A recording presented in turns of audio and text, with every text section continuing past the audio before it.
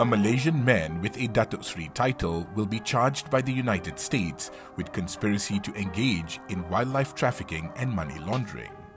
In a statement, the U.S. Attorney for the Southern District of New York said Teo Boon Ching was extradited from Thailand yesterday after he was arrested in June for his second wildlife trafficking offense.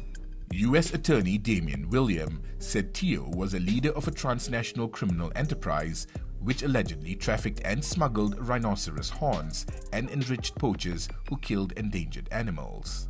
The organization uses routes through Malaysia and Laos to reach customers in Vietnam and China.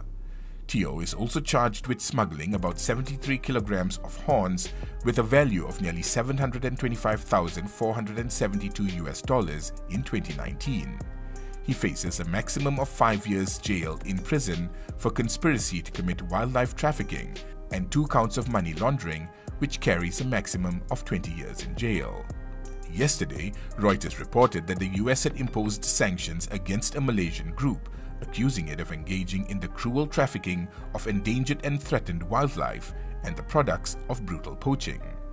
The US Treasury Department said in a statement it had designated Teo, this organization, and Malaysian company Sunrise Greenland to face the sanctions.